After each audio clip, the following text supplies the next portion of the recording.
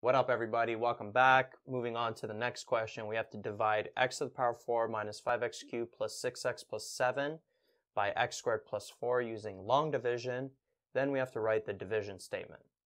Okay, so this is going to be our um, divisor. So let's actually do this here, x squared plus 4.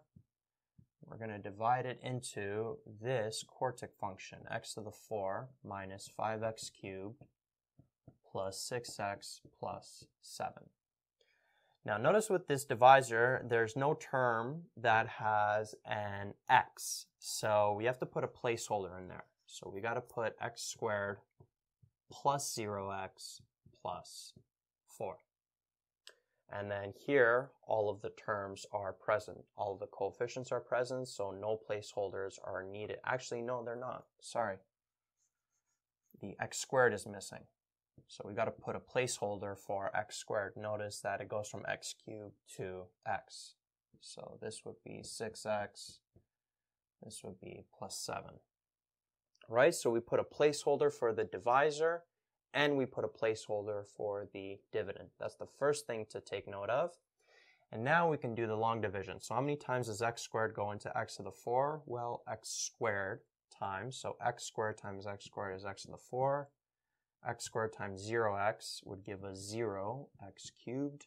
x squared times 4 gives us 4x squared. And now we can subtract everything. x to the 4 minus x to the 4, that's 0. Negative 5x cubed minus 0x cubed, that's negative 5x cubed. 0x squared minus 4x squared gives us negative 4x squared. Now let's bring this 6x down. How many times does x squared go into negative 5x squared? Negative uh, 5x times. So then multiplying all the terms in the divisor, we'd have negative 5x cubed. Negative 5x times 0x gives us 0x squared. And then uh, negative 5x times 4 gives us negative 20x. So then when we subtract this,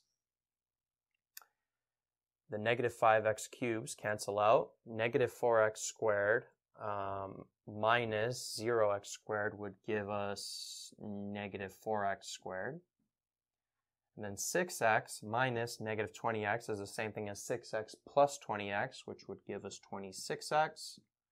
Then let's bring this 7 down.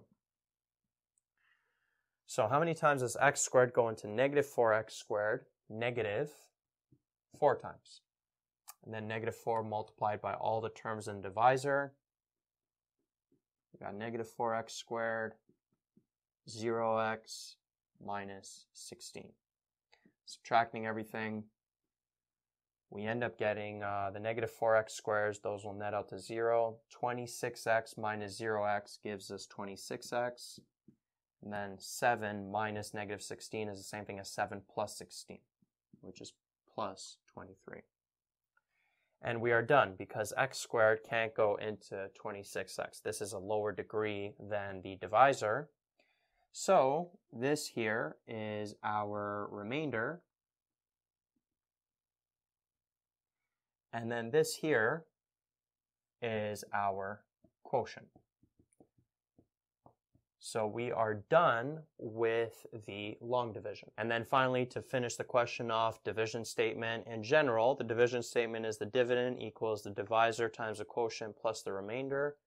So taking the dividend, the divisor, and then the quotient and the remainder that we found with the long division, this ends up being the division statement. Dividend equals the divisor times the quotient plus the remainder.